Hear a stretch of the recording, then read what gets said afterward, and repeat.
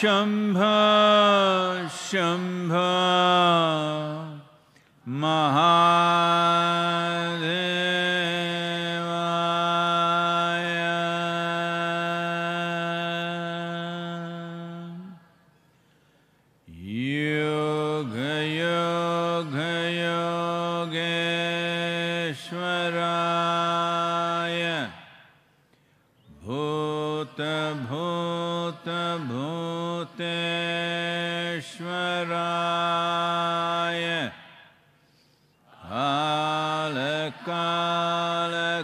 कालेश्वराय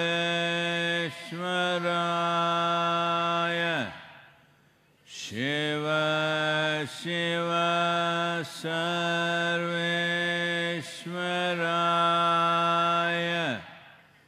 शम्भ शम्भ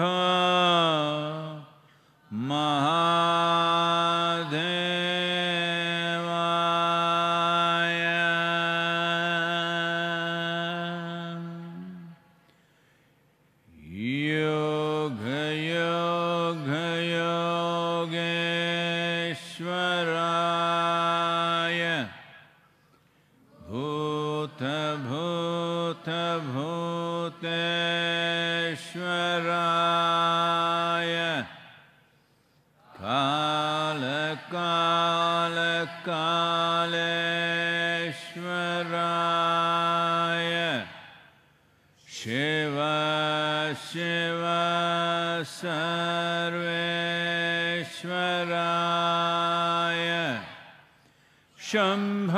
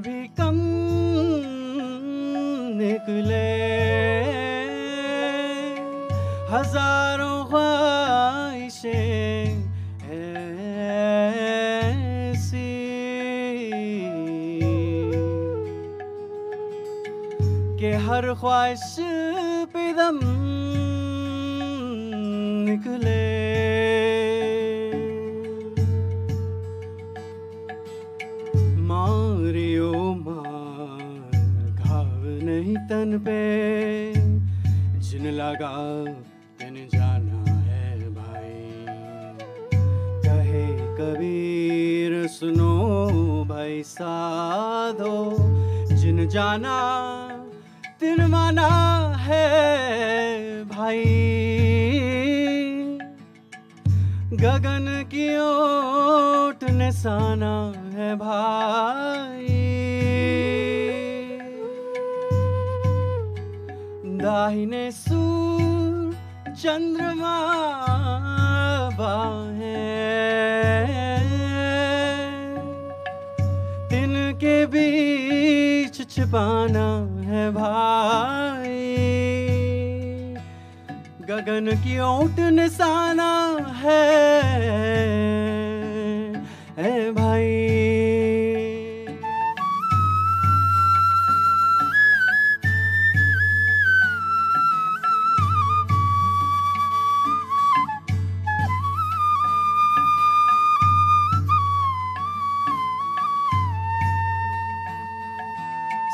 sa sa sa sa ni sa ni pa re sa sa sa ni sa ni pa ni sa re re re ni pa pa ni sa re ma ga re ga re sa ni sa re re sa pa ni ma pa re ga re ma pa re sa sa sa sa sa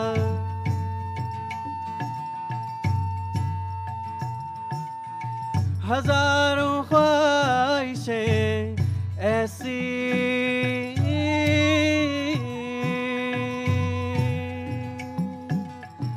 कि हर ख्वाहिश पे दम निकले। के हर ख्वाहिश पे दम निकले।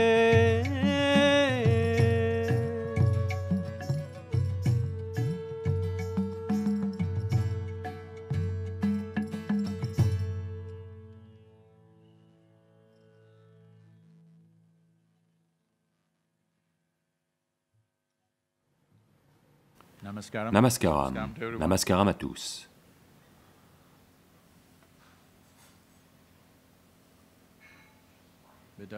Il est un peu tôt dans la soirée.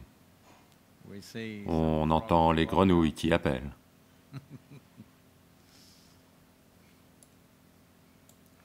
Ça me rappelle quelque chose. C'est arrivé une fois.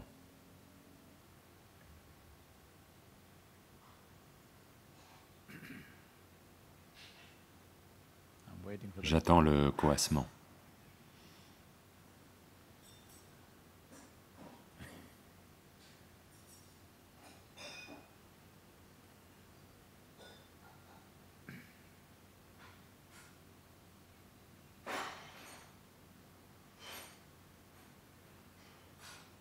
C'est arrivé une fois.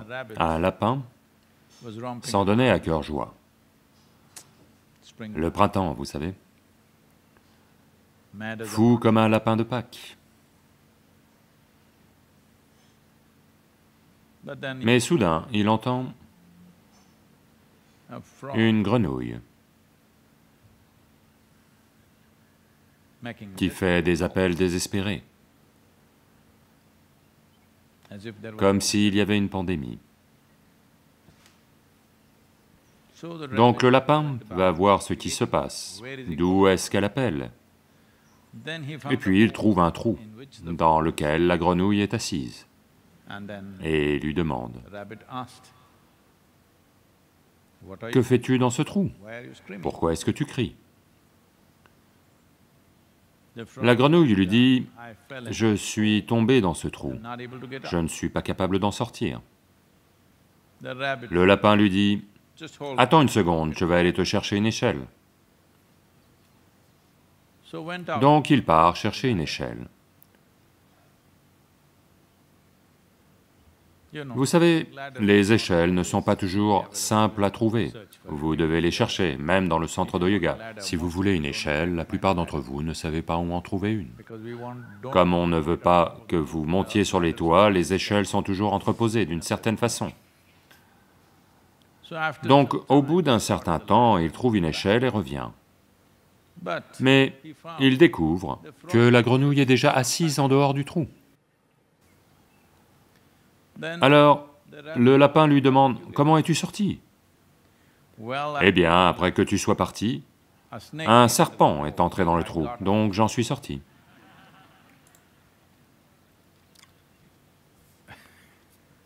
Je parlais à l'instant à la confédération uh, des groupes industriels du pays. Tout le monde est très inquiet, parce que ce n'est pas une période facile pour gérer une affaire ou une industrie, parce que il y a toujours des incertitudes dans une euh, activité à grande échelle. Mais en ce moment, il y a trop de variables et trop d'incertitudes. Donc, il y a de réels problèmes sur le terrain, des problèmes financiers, des problèmes humains, dans le sens où vous avez vos employés, des milliers, si vous les payez sans qu'ils ne travaillent, vous allez faire faillite. Si vous ne les payez pas, leurs vies vont en pâtir. Ils pourraient ne pas survivre. Ce mois-ci ou le suivant.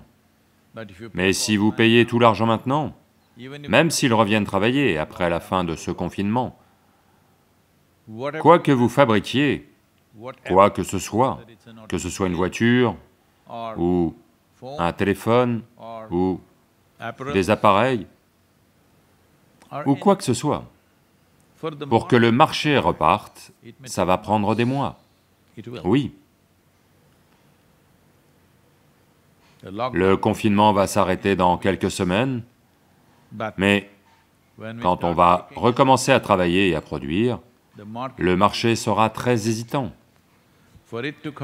Pour qu'il redémarre, ça va prendre du temps. Donc tous ces soucis, soucis financiers, soucis humains, divers problèmes, les emprunts que vous avez faits, l'argent que vous devez aux gens, EMI, les emprunts bancaires, diverses choses. Tout cela les préoccupe beaucoup. Donc,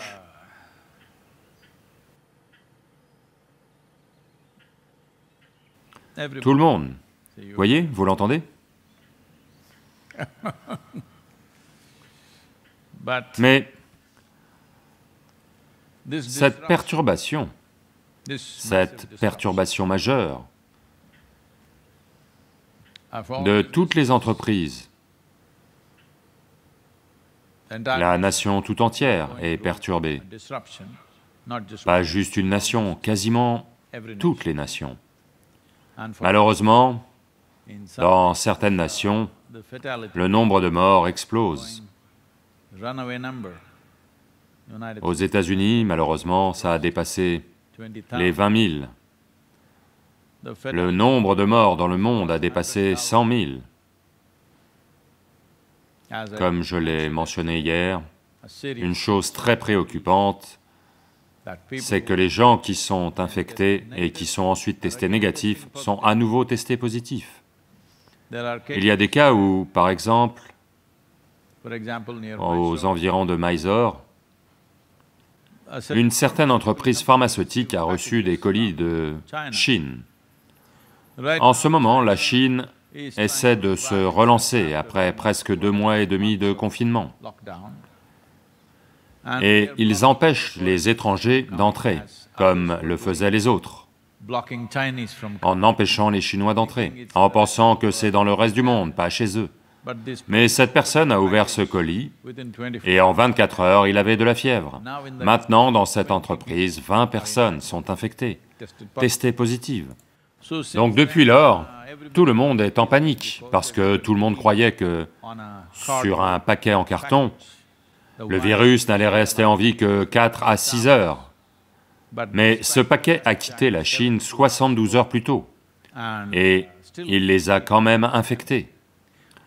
On ne sait pas s'il est arrivé de Chine ou s'il est passé par d'autres endroits, ou peut-être qu'il a atterri à Chennai et que c'est là qu'il l'a attrapé, personne ne le sait, personne n'est capable de retracer sa route.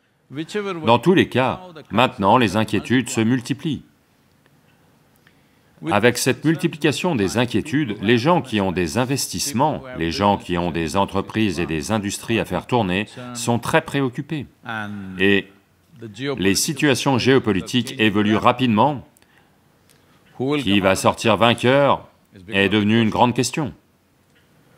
Et beaucoup de réalignements sont en cours silencieusement. Combien de temps ça va rester silencieux Quand est-ce que ça va faire surface? Beaucoup, beaucoup de problèmes. L'activité humaine est devenue si complexe que de petites perturbations la feraient dérailler. Mais maintenant, ceci est une perturbation majeure. Mais is c'est aussi une possibilité. Quand il y a une perturbation, il y a une possibilité. Donc, un serpent est entré dans le trou. will- Vous allez vous sortir du trou d'une manière ou d'une autre, parce que votre vie en dépend. Donc c'est une période où les êtres humains doivent se préparer pour être au top, tout le monde, quelle que soit notre activité. Il est important que vous soyez au top parce que la façon dont vous faisiez les choses par le passé pourrait ne plus fonctionner dans six mois. Ça pourrait simplement ne plus fonctionner. Pour une nation, pour les grandes entreprises, les petites entreprises, les entreprises individuelles et les individus et les institutions. La façon dont on a fonctionné par le passé, si le confinement et les perturbations persistent suffisamment longtemps, beaucoup de choses qui étaient des instruments de réussite pourraient ne plus avoir de sens dans les six prochains mois. C'est possible. Est-ce qu'on va aller aussi loin que ça Ou se rétablir avant ça? On espère qu'on va se rétablir avant ça. Mais c'est très possible. Plus personne n'écarte cette possibilité, parce que personne n'est capable de prédire. Maintenant, les scientifiques chinois qui étudient cela, maintenant ils disent que la distance que le virus peut parcourir, c'est 4 mètres, pas 2 mètres, comme il l'avait dit au départ. Il n'y a pas assez d'espace dans le monde pour 7,6 milliards de personnes, espacées de 4 mètres partout. La plupart des maisons ne sont pas assez grandes pour que les 4 ou 5 personnes d'une famille maintiennent une distance de 4 mètres. Et maintenant, ils disent que sur les surfaces métalliques, il se peut qu'ils vivent bien plus longtemps. Auparavant, ils disaient qu'ils peuvent vivre jusqu'à 12 heures. Maintenant, ils disent qu'ils peuvent vivre jusqu'à 72 heures en particulier sur les sols des hôpitaux. Ils ont découvert, là où se trouvent les patients contaminés par le virus, le sol de l'hôpital est un nid à virus. Donc, tous les personnels médicaux portent des combinaisons, des équipements, des protections, des lunettes, mais il semble que ce soit leurs chaussures qui emportent un maximum de virus à l'extérieur. Mais ils ne changent pas leurs chaussures, en général ils gardent les mêmes chaussures, seuls quelques-uns changent de chaussures. Tous les autres changent de combinaison et de masque et tout, mais les chaussures portent tout. Et ainsi de suite, tous les jours, de nouvelles choses apparaissent, parce que c'est une chose nouvelle, personne ne sait exactement quoi. Donc au fur et à mesure que ces nouvelles arrivent, il y a de plus en plus de confusion, plus de peur et plus de panique partout. Combien de temps ça va durer? Est-ce que ça va complètement nous détruire? Que va-t-il se passer? Oui, à coup sûr, la façon dont on faisait des affaires, la façon dont on gérait beaucoup de choses, beaucoup d'aspects pourraient, en fonction du temps que ça dure, pourraient prendre fin. Les choses telles qu'on les a connues, les outils qui nous permettent de réussir, ces outils pourraient ne plus être pertinents dans trois à six mois selon ce qui se passe, combien de personnes ça tue. À l'heure actuelle, autant qu'on sache, la seule chose dont on est sûr, c'est que, oui, certains tigres l'ont attrapé, certains chiens l'ont attrapé, mais ils disent qu'ils ne sont pas suffisamment infectés pour le passer à quelqu'un d'autre. Leurs infections sont légères. Donc principalement, il n'y a que l'être humain qui est porteur. Donc une chose dont on est certain, c'est qu'en maintenant une distance suffisante, on peut se sortir de là en faisant en sorte que ça reste une perturbation mineure pour notre génération. 100 000 personnes, ce n'est pas vraiment mineur, mais au regard de la catastrophe potentielle que ça représente, 100 000 personnes, c'est considéré comme mineur dans le monde actuel, ou plutôt dans la situation. actuelle. Donc, Maintenant que le serpent est entré dans le trou, tout le monde doit sauter au maximum de ses capacités, chacun d'entre vous. Chacun d'entre vous, où que vous soyez, quoi que vous fassiez dans votre vie, vous devez passer au maximum de vos capacités, c'est le moment. C'est le moment de votre vie où ce qu'il y a de mieux en vous doit s'exprimer en tant qu'être humain, en tant que personne qui travaille, quel que soit votre travail, quelles que soient vos activités, nous devons exprimer le meilleur de nous-mêmes, parce que maintenant, le serpent est dans le trou. Si vous ne sautez pas, c'est la fin pour vous. Eh bien, je n'essaie pas de dresser un tableau sombre, C'est la réalité dans laquelle nous existons. Est-ce qu'on va en sortir victorieux et regarder en arrière en étant fier de la façon dont on s'en est or sorti, ou est-ce qu'en regardant en arrière, on sera extrêmement déprimé et déçu de ce que nous sommes et de ce qui nous est arrivé, dépend simplement de la distance que l'on maintient, 13 4 mètres.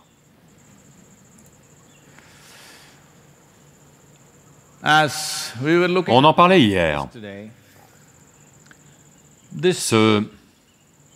toute cette tendance à instiller un sens de la compétition dès l'enfance à la maternelle, partout, je veux être numéro un, je veux être numéro un. Ceci peut faire énormément de dégâts dans une situation comme celle-ci. Cette situation nécessite d'agir avec beaucoup de cohésion, pas en se concurrençant. Agir avec beaucoup de cohésion est ce que doit faire l'humanité à l'heure actuelle. Si nous entrons en compétition, eh bien, nous pourrions disparaître tous les deux. C'est la réalité. Donc, nous devons détendre l'éducation idiote qui vous a été mise en tête, que vous devez toujours être numéro un, numéro un, numéro un. Vous devez aussi être numéro un à partir. Oui, si vous pensez toujours que tout est une course, que la vie elle-même est une course, naturellement, vous devez passer la ligne d'arrivée en premier. Le virus va vous aider.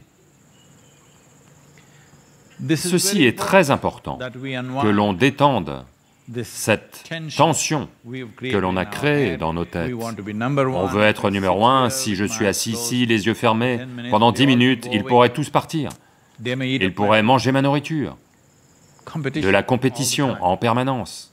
Ceci doit diminuer. Si l'on veut se comporter avec bon sens dans une situation comme celle-ci, ceci doit diminuer. Dans tous les domaines, les gens pensent qu'ils doivent être un cran au-dessus. Ceci est arrivé. À l'extérieur de la salle d'accouchement, il y avait quelques hommes en train d'attendre parce que leurs femmes étaient en train d'accoucher, dans un grand hôpital. Shankaran Pillai attend également. Sa femme accouche aussi. Donc, l'infirmière arrive et uh, s'approche d'un homme et lui dit Sir, « Monsieur. Monsieur Thompson, vous êtes papa d'un jeune garçon en très bonne to you?" santé.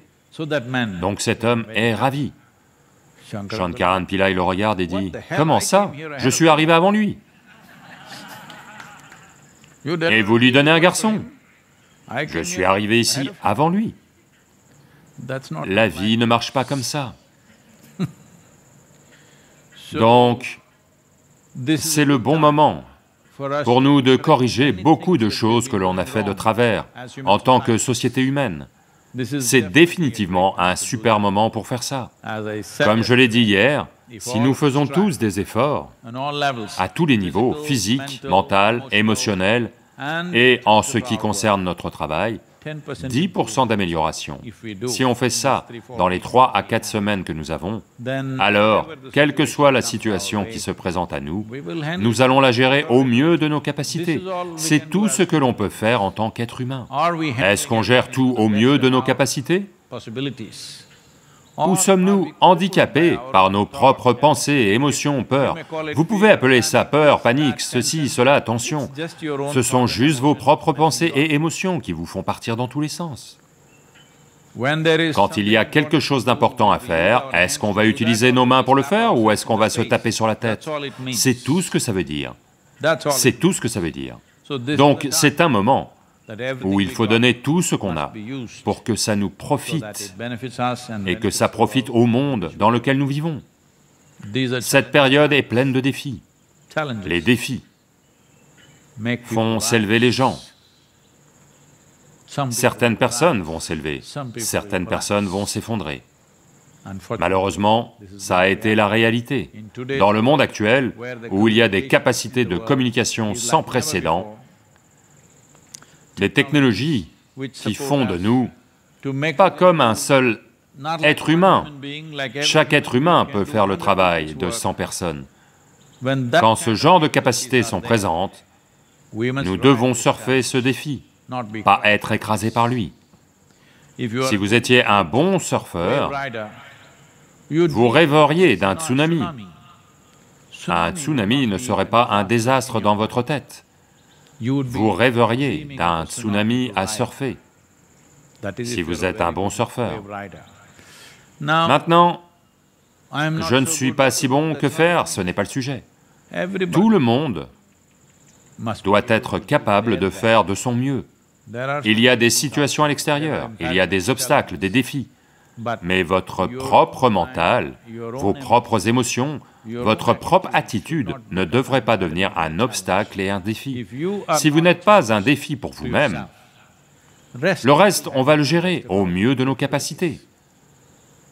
Ceci va, de bien des façons, rassembler l'humanité, au moins dans les quelques prochains mois. Il y a certaines cohésions, il y a un certain niveau de coopération. world Le monde réfléchit davantage en termes de monde qu'en termes de nations individuelles. Toutes ces choses ont lieu dans le monde. Nous devons utiliser cela pour surmonter ce défi.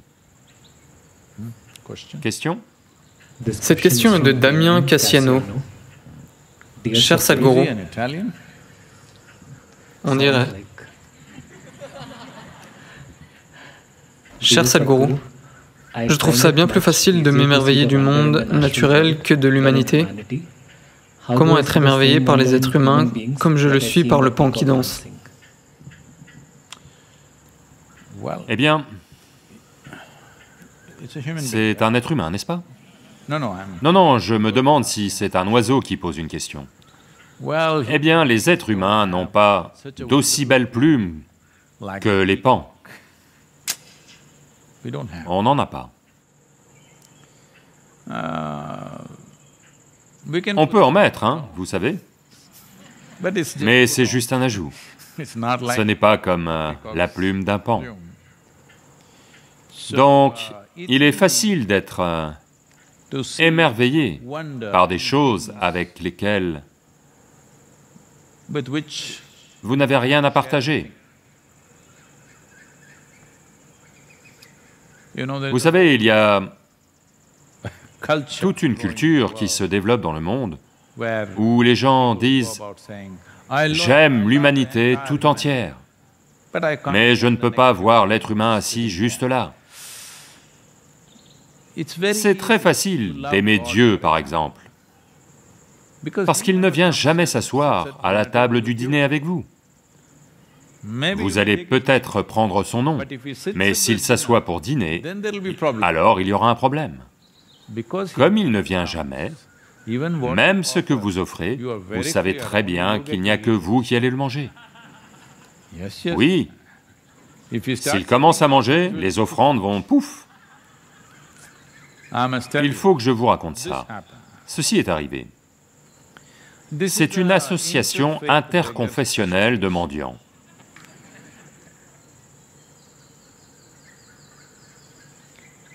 Donc, Ils ne sont que trois membres. Un mendiant hindou, un mendiant chrétien, un mendiant musulman. Donc, ils disent, uh, Vous savez, ils sont très religieux, mais du fait de leur situation économique, ils sont obligés d'être ensemble, autrement ils se battraient. Donc un jour, ils se réunissent sous un arbre, et le mendiant hindou veut montrer qu'il est un vrai dévot. Il dit, "See, voyez, chaque jour, tout l'argent qu'on me donne, qui est sous forme de pièces et de petites monnaies, je trace un grand om, home, om, et ensuite je jette tout l'argent en l'air. Tout ce qui atterrit sur le home belongs appartient à Shiva. Le reste m'appartient. Je suis un vrai dévot. om Home, c'est, vous savez, un grand trait comme ça, et ceci, ceci, tout ça. Le mendiant musulman dit, moi aussi je fais quelque chose comme ça. Mais pour nous, le sacré est dans la lune d'un jour, qui est un fin croissant. Je dessine le croissant d'une lune d'un jour, et ensuite je jette l'argent. Tout ce qui tombe sur la lune appartient à Allah, le reste m'appartient.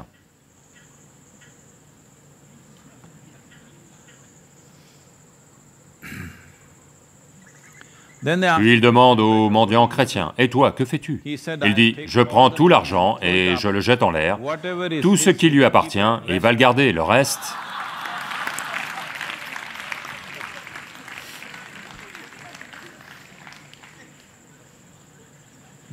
C'est comme ça. C'est facile d'aimer un oiseau sauvage qui danse, qui est beau, parce qu'il ne vous demande rien. Il ne vous aime même pas, à vrai dire. Il ne pense pas grand-chose de vous. Avez-vous vu comment un pan vous regarde?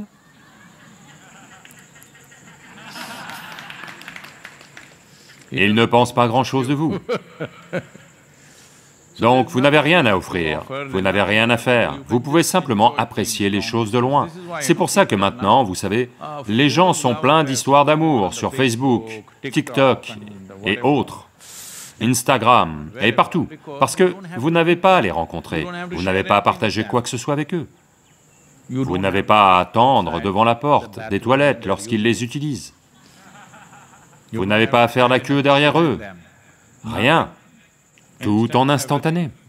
Si ça ne vous plaît pas, vous pouvez l'éteindre et supprimer le compte. Donc le pan arrive, danse, vous adorez, il va repartir. Pas de problème. Vous n'avez pas à le loger. Faites une chose, gardez le pan dans votre chambre pendant trois jours. Il va faire ses besoins partout. Et pendant la nuit, oh, un son très bruyant. Les gens ne le savent peut-être pas. Chaque jour, ils sont on posés sur le toit de l'endroit où je suis et ils vont démarrer le matin, ok Donc gardez le pan chez vous pendant trois jours. Et ensuite, voyons à quel point vous serez. Donc, les êtres humains sont une espèce difficile, y is- compris vous. Donc, ne faites pas ce... Voyez, on parle de ne pas faire de distinction entre les races, religions, castes, croyances, genres. On parle beaucoup de ça. Je vous le dis, ne tracez même pas de ligne entre les espèces. Pourquoi? J'aime un singe, mais je n'arrive pas à aimer un être humain. Ça veut dire qu'il y a un problème d'évolution en vous. J'aime les singes, mais je n'arrive pas à supporter les êtres humains. Qu'est-ce que ça veut dire? Vous n'aimez pas l'évolution. Donc, c'est fascinant, la façon dont le singe saute dans tous les sens, de branche en branche, fascinant. Juste un jour, laissez votre fenêtre ouverte à Shivapadam, quelques singes entrent dans votre chambre, vous êtes fini. Ils vont manger, ils vont déchirer, ils vont faire leurs besoins partout, ils vont détruire tout ce qui se trouve là et disparaître. Maintenant, vous arrivez et dites, « Ah, mes chers singes, quel beau travail ils ont fait !» Non, ça ne va pas se passer comme ça. Donc, c'est bien, au moins vous appréciez les oiseaux, c'est bien. C'est un... C'est un genre de lobby appelé ornithologue. Vous appréciez les oiseaux, étudiez les oiseaux ou appréciez les oiseaux, aux aguets. Mais les mêmes oiseaux, s'ils entrent chez vous, c'est autre chose. Le problème des êtres humains, c'est que vous les rencontrez partout, ils sont dans votre maison, ils sont dans votre bureau, ils sont partout. Ils ne sont pas juste en train de danser au loin. S'ils ne faisaient que danser au loin, eux aussi vous les aimeriez. Le problème, c'est que vous devez travailler avec eux, vous devez vivre avec eux, vous devez les manager tous les jours. Ça, c'est un problème. Donc, je veux que vous compreniez ceci. Il n'y a rien de mal à ce que vous appréciez et aimiez la danse d'un pan, aucun problème. Vous devez l'aimer même s'il n'est pas en train de danser. C'est bien, mais voyez la grenouille, dit où est le serpent? Quand il y a des pans, ils mangent les serpents. Régulièrement, j'apporte des serpents et les laisse dans le jardin. Mais ces pans les dévorent en un rien de temps. Vous aimez les pans? Je les aime aussi, mais j'aimerais aussi qu'il y ait des serpents qui se baladent. Mais ils sont tous dévorés en un rien de temps. Donc, il est facile d'aimer quand il y a une distance. Voyez, beaucoup de gens en ce moment, en cette période du virus, de quoi se plaignent-ils? De ceux qu'ils aiment. Ils sont entassés avec eux à la maison. Gros problème. Les violences conjugales ont augmenté, vous savez, de 100% selon certains, dans certains pays. Toutes sortes de problèmes, tout le monde demande conseil. Que faire? Comment gérer cette famille? Ce sont les mêmes personnes qui vous manquaient, parce qu'elles allaient au bureau tous les jours. Pourquoi es-tu aussi souvent absent? Mais maintenant, ils sont à la maison, et ça pose problème. La distance est une chose merveilleuse. La mort est une chose fantastique. Voyez, les gens morts sont toujours aimés de tous. L'avez-vous remarqué? Dès qu'ils meurent, ils deviennent soudain dignes d'adoration. Pourquoi ne les avez-vous pas adorés quand ils étaient vivants? Comment se fait-il que dès qu'ils meurent, ils deviennent dignes d'adoration? Partout dans le monde, ils vont les élever et faire ça, mettre des fleurs et autres juste parce qu'ils sont morts. Quand ils étaient en vie, vous n'étiez pas prêt à le faire. Quand ils sont morts, vous le faites. Qu'est-ce que ça veut dire? Non, je ne veux pas le dire, vous savez. Quand ils sont en vie, vous aviez du mal avec eux. Dès qu'ils meurent, vous les adorez, et ils vous manquent, et vous les aimez. Qu'est-ce que ça veut dire? Vous attendiez, probablement. Pas une bonne chose, du tout. Donc, examinons cela attentivement. Votre problème, c'est que vous avez une personnalité bien définie. Vous recherchez quelque chose qui n'empiète pas sur votre personnalité. Mais les êtres humains, vous savez, tous les êtres humains ne vont pas respecter vos frontières, ils empiètent sur elles, inévitablement, certains par ignorance, certains intentionnellement, comme moi, vous savez Toujours intentionnellement. Empiéter sur vos frontières. Donc dès que quelqu'un se met à empiéter sur vos frontières, vous voyez cette personne comme un problème. Le pan est en dehors de vos frontières en ce moment, il a l'air très beau. S'il empiète sur vos frontières, lui aussi vous allez le voir comme une grande nuisance. Oui, ce sera le cas. Que ce soit un pan, ou un autre oiseau, ou un singe, ou un âne, ou quoi que ce soit. De loin, tout est bien. Donc en ce moment, il y a une distance entre vous et ces créatures. Donc vous les appréciez, appréciez-les, rien de mal à cela, mais l'important c'est que si vous créez une petite distance entre vous et votre propre personnalité, vous verrez que vous allez même vous apprécier vous-même. Et une fois que vous appréciez cette personne-ci, vous verrez tout le monde est merveilleux. Oui.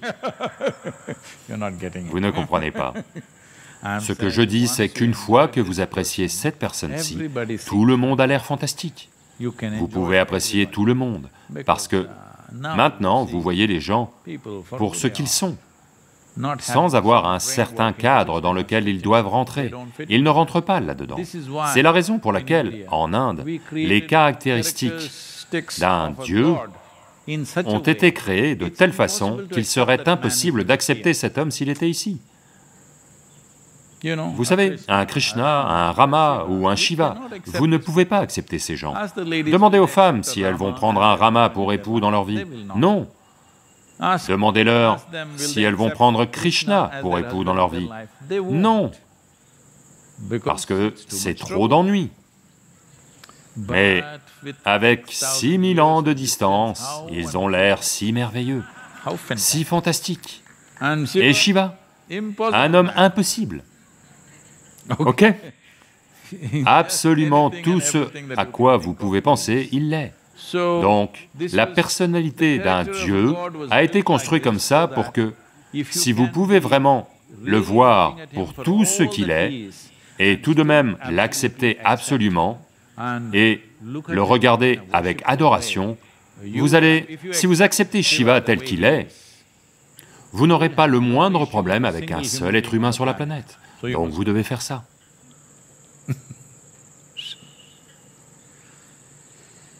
योगयोगयोग्वराय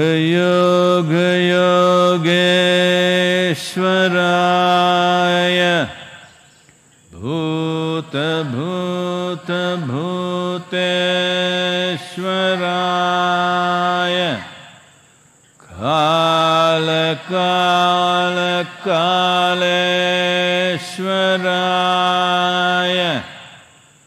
शेव शिव सर्वेश्वराय